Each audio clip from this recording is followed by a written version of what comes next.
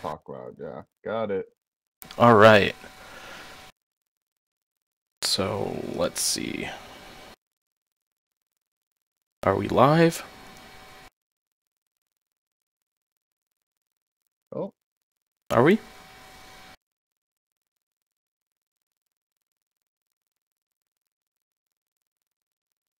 yeah, We are live. How's the audio? laggy. Laggy.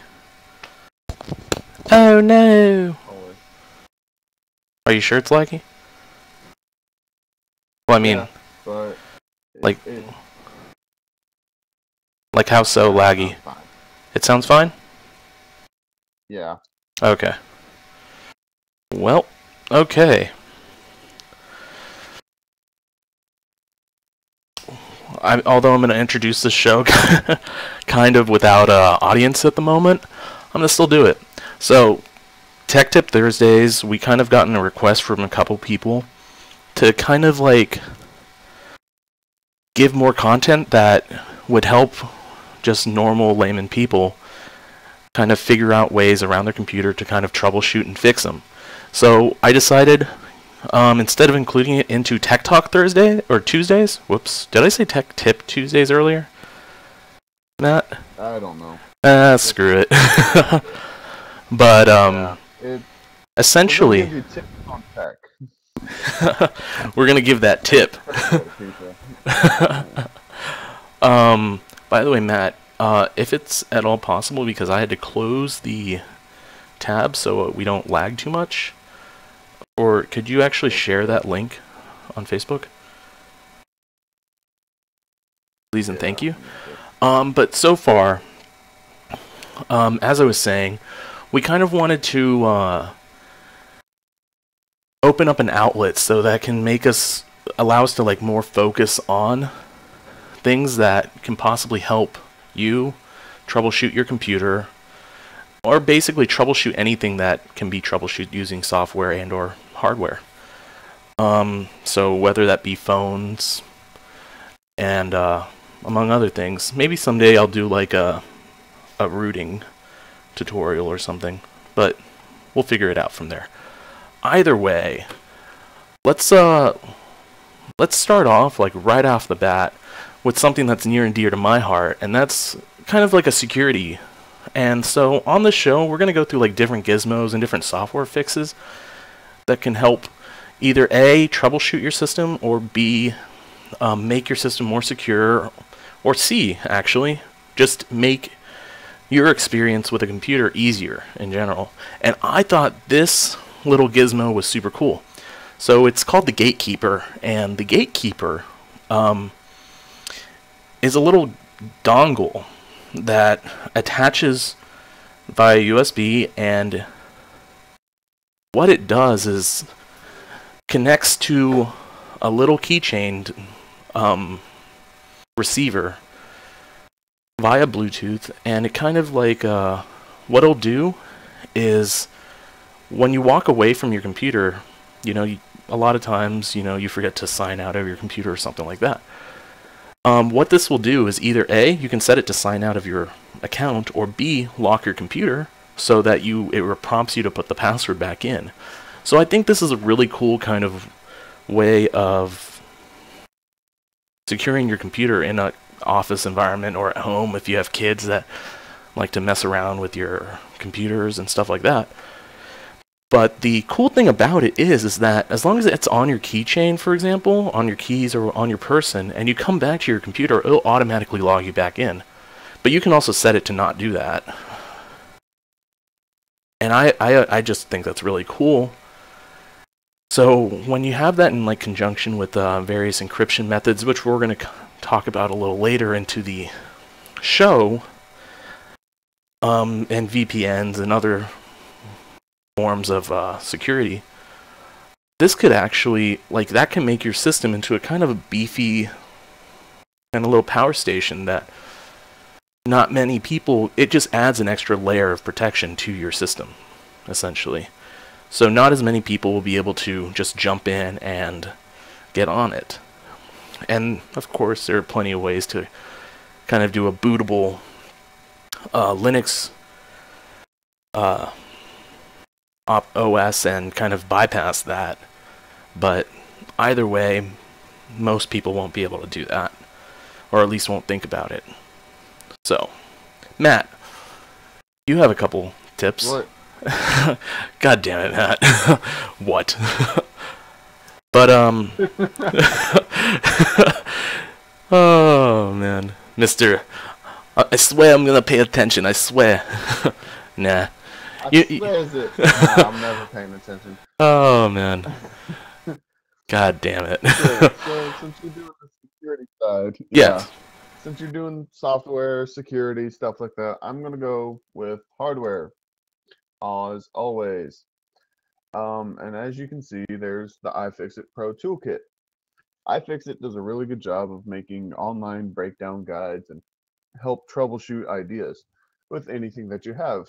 And they also put out these quality tool sets that are phenomenal for breaking down things. Like if you need a certain size screwdriver that you don't have, or specialty screwdriver, say you're trying to bust open your Sega Game Gear, and you don't have that right that, that, that right bit. Well, you need a uh, I think what is it, a 3.8 or uh, whatever. It's a special one that you need to bust it open. But this one, the what is this? The uh how many well, I think this is the 50 yeah, the 54 bit driver kit. I think this one's the top of the line one. um, well, no, you have this one and then you have the one that I have. Which one's the one that you have? Um, let me find it real quick. Alright.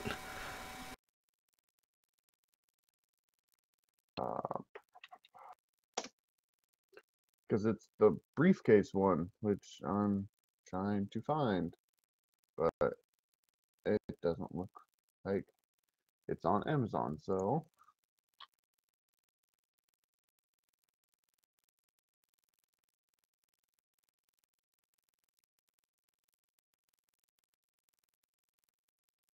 but while I'm finding this, it's uh, very you you pretty much have every essential tool that you'll need.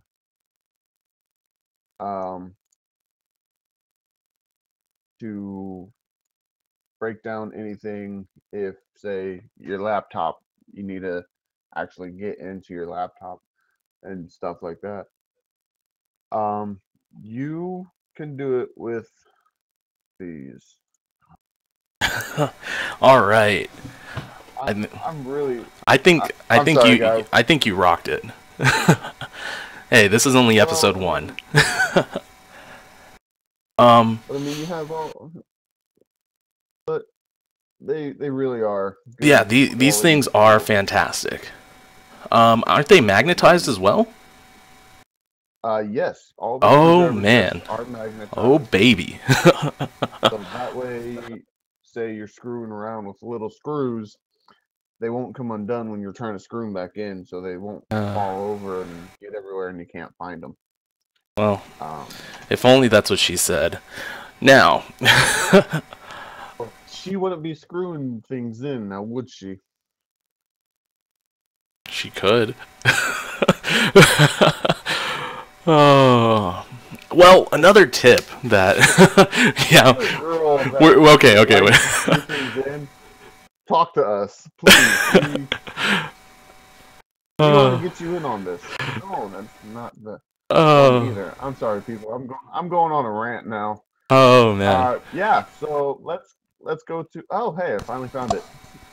Okay, you found it. Yeah. Oh well, do I, you, I know if I go on a rant, uh, it's going over uh, curse right now. all right. Let's see the link. Oh, Think Geek, cool. Yeah, I found it on ThinkGeek. Um, but yeah, so uh, this is actually what I have, and it literally becomes like you can see it works. It opens up Xboxes, PlayStations, uh, Wii's, Dreamcast. Void the most warranties to win. Yeah. Oh, that's beautiful. Like, I mean, I also have. Where's that one thing that I was talking about? Um, this can open Game Boys. I wonder if it can open Game Boy games. You, so I can replace my uh, my battery from my Pokemon Silver game.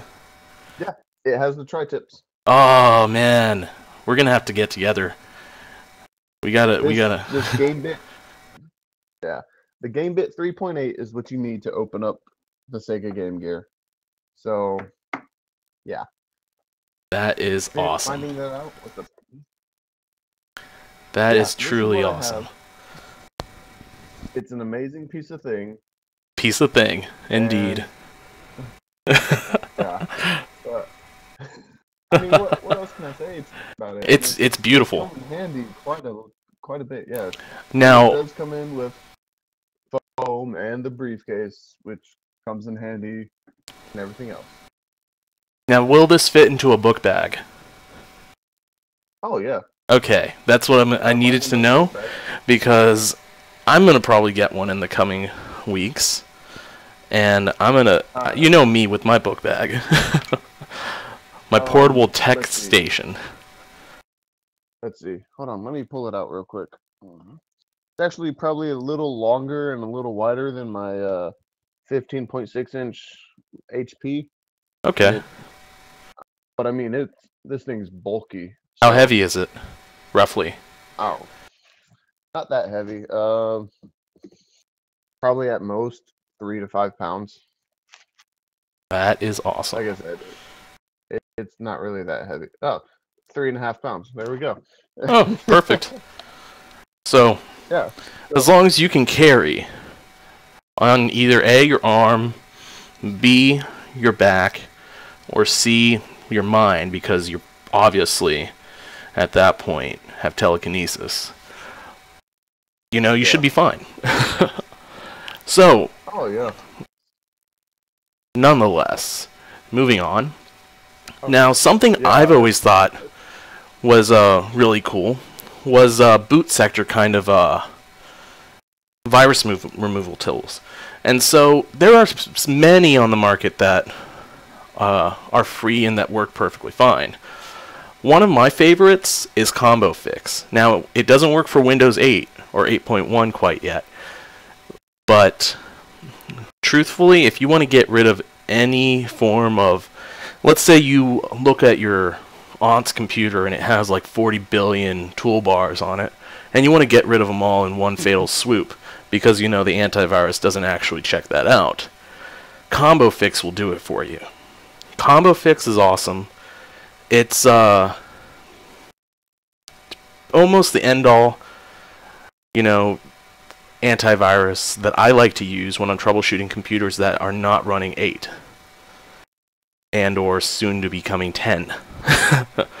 I've, I've actually had to troubleshoot some computers that were running the technical uh, preview of Windows 10 before, and that was an interesting thing. But another boot sector uh, software out there is through Avast, and a lot like a lot of antiviruses don't include this in their things, but Avast actually includes a boot sector antivirus that all you have to as the only thing is is that it's harder to install or run if you're already on an infected machine. But if you already have it on the machine and the computer is really badly uh, infected with various viruses, this will typically get rid of them all.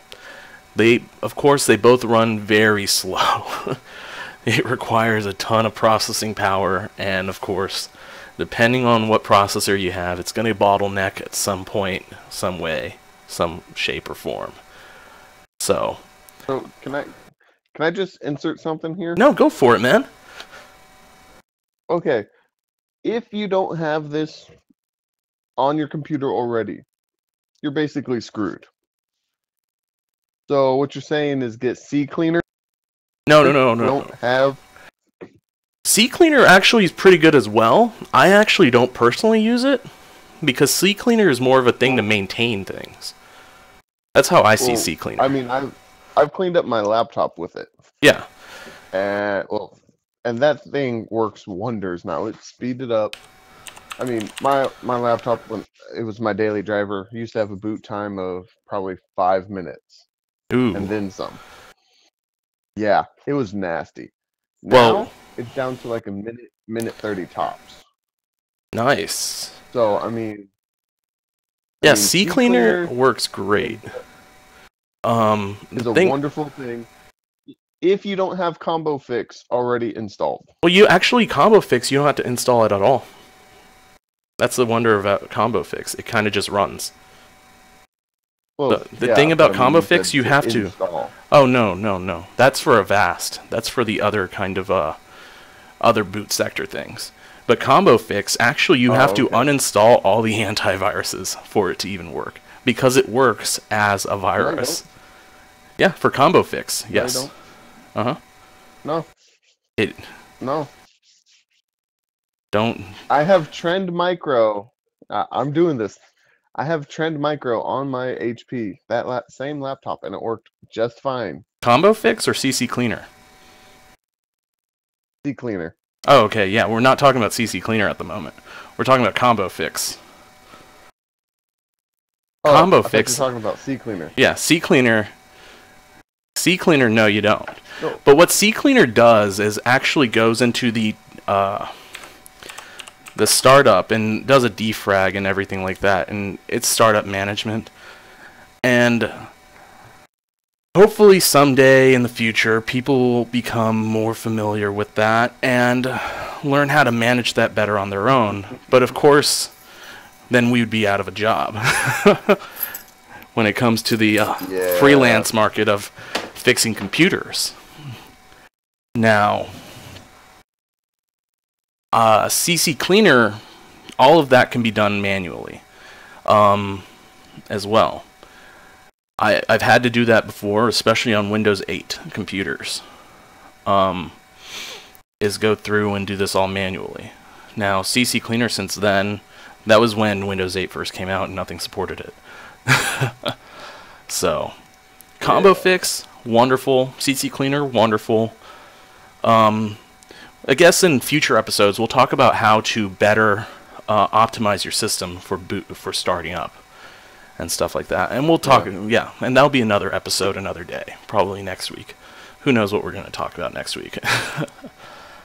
so, one thing we're going to talk about is something near and dear to both of our hearts.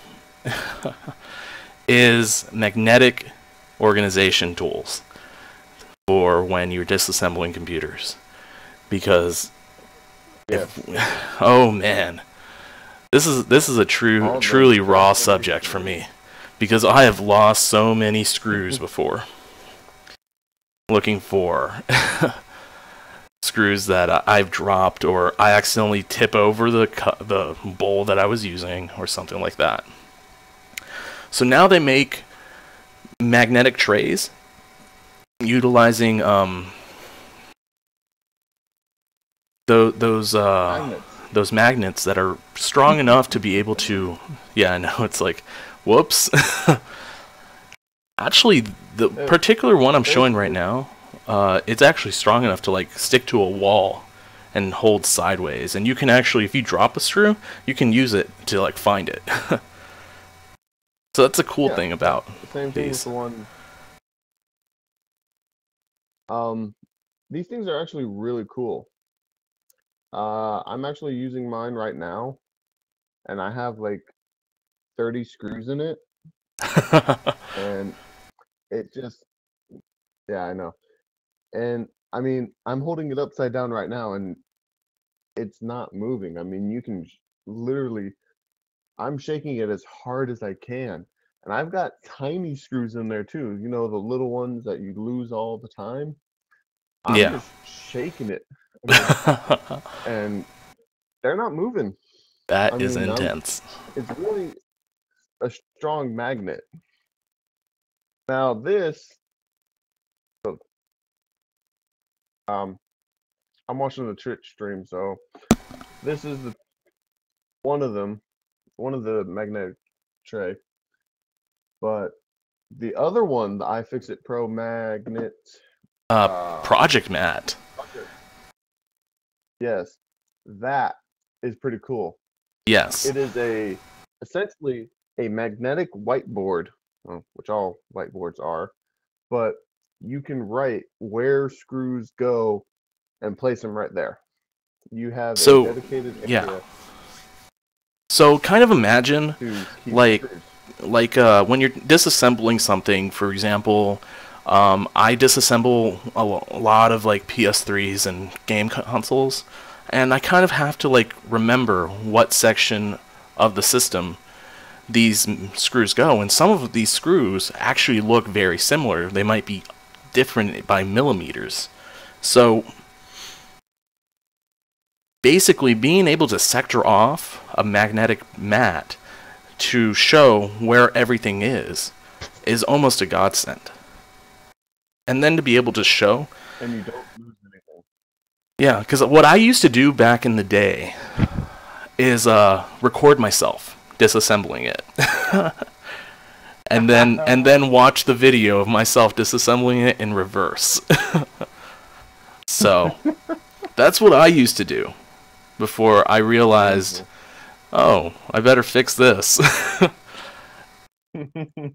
But of course, like having a magnetic cup full of just mixed screws doesn't always help you in the sense of reassembling things. So, this I think is an awesome product for that. Now, yes, let's move on to something that's near and dear once again to my heart that actually is what I touched on earlier is encryption. So now encryption on systems is a great thing. BitLocker comes with uh, Microsoft and Apple has their own encryption um, solution. I don't know about the various uh, releases of Linux on how they deal with encryption. I believe Ubuntu has uh, a solution for that. But of course, Linux, you can you can encrypt all the different layers as opposed to just encrypting the whole file system outright. So, but that's that's completely a different conversation for a different day. That'd probably be more appropriate for tech talk. But either way, like working in conjunction with like various little tools and gadgets and gizmos to be able to lock your computer when you're not around and stuff like that, being able to encrypt your system for the most part, the encryptions that are included with um, Microsoft and Apple, they might not be the world's strongest encryptions, but they are sufficient enough for um, possible hackers. And if you do a lot of like uh, sensitive, you know, work like stuff that have to do with your job, um, I have a friend that he has to remote into his job at home every once in a while, and of course that kind having a local system encrypted to be able to protect that end-to-end uh, connection is always a good thing because if he had viruses or spyware on his system, potentially um, stuff that he's working on for his job can be stolen and then repurposed or sold somewhere else or and of course that comes back on you. And that that can negatively affect you affect you significantly. So i honestly push encryption on your phone my personal pet peeve on your computers and everything like that. Um, actually a lot of phones nowadays come encrypted by default with an end-to-end encryption which is fantastic because uh, having encryption on local on your local system to be able to break things break into things as long as you don't have any way to bypass it for example you have on lollipop your bluetooth trusted so that it gets rid of the unlock screen right off the bat. Nobody's going to really get into that. And you can kind of take from that and apply it to whatever you would need. So either way we are nearly we're coming up to the 30 minute mark. We've planned on doing this show for only a 30 minute cap because it's kind of a tech tip, just bam, bam, bam, bam, rapid fire. We don't want to go too. It's also the first episode. Yeah, it's so- also the first episode. We kind of have Tech Talk to be more of the uh, podcast like show, and this one we kind of want to like give you the information and scurry back onto our little holes in the ground. so, uh, any any final thoughts and any final comments, Matt, on where you see? Actually, yes. I Okay. do- Go for it. I, just want to highlight a uh, product. Oh, go for it, man. Uh, I'm sending you the link All right. because I think these things are neat. And if well, everybody has that five and a quarter drive bay that everybody's not using. um, Oh, yeah. Things. Yeah. I picked one up recently, and these things are actually pretty amazing if you need more storage in or around your computer. Uh, they go into an unused five and a quarter drive bay. It converts that to a tiny drawer, as you can clearly see. Um, all you do to open it is push in, basically push it, and it pops open. It does have a little shelf or a little place stuff, and then ha- has um, storage space, of course. Uh, so if you have like a surplus supply of USB drives that you don't really use or Like me. need often, yes, so you can pop them. we'll talk about you later. Uh, uh, but you can pop them in, and they're out of your way. Um, of course, the only downside is if you ever need that drawer or a five and a quarter drive bay, you'll have to remove it. But I mean, honestly, have most people, five and a quarter. yeah, most people won't be using more than four hard drives, anyways. And so, Even then, it's like yeah. And considering, yeah, everybody could need more storage. I mean, come on. or a Everybody needs more wonderful, storage, you a wonderful little weed, a place to store your That weed. I mean, Oh. yeah, you if you just look at my computer, you wouldn't even realize that I have a drawer in Inside, yeah. Hell, you wouldn't even realize I have top storage on my computer. So, I mean, it's really personal taste for this, but I wanted to highlight this. Actually, I think it's a really cool idea, especially since CD bay CD drive bays are being phased out slowly. Um, so like like I don't even have a CD drive option on my computer. So Yeah, it's kind of it's it's a good thing to be able to repurpose your stuff to to kind of be able to not have just an empty to CDs, Matt.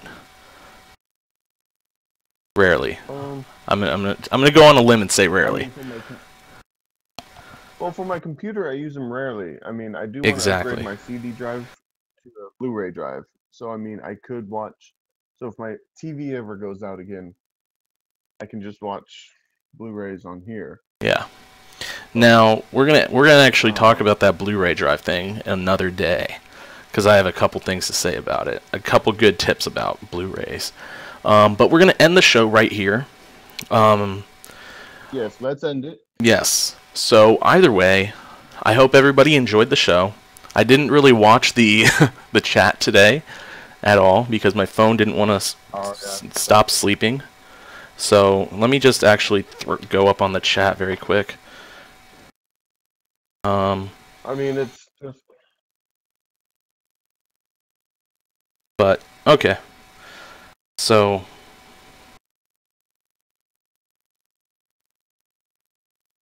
there we go. And oh well. Either way. Have a good night everyone or good day depending on what part of the world you are in.